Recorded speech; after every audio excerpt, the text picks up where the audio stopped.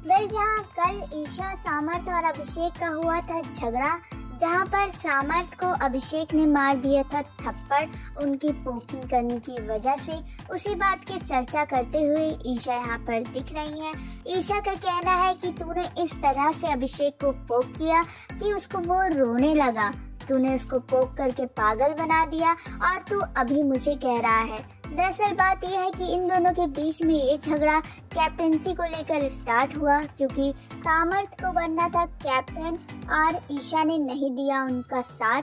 इस बात पर सामर्थ जहाँ गुस्सा है, वहीं मनारा भी ईशा से नहीं कर रही है बात। मनारा को लगता है कि ये बिग बॉस का घर एक कपल का घर बन चुका है।